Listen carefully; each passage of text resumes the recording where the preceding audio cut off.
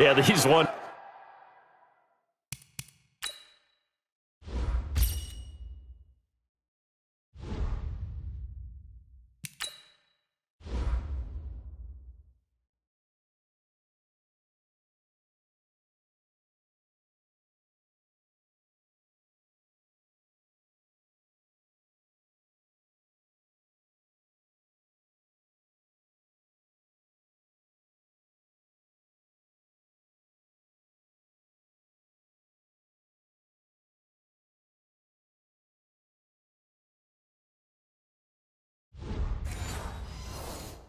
Handed catches. That was great, and they're fun.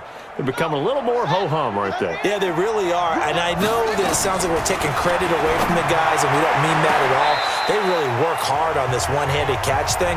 But I think the gloves have to be helping in a big way. Now a throw to the end zone on first down, but it winds up incomplete. And that's one he's got to be happy to have back. There wasn't a hole open in the zone. You'd have to think on early downs like that first down there, need to be a little bit more careful. Yeah, fortunately for him, got a couple more downs to play with.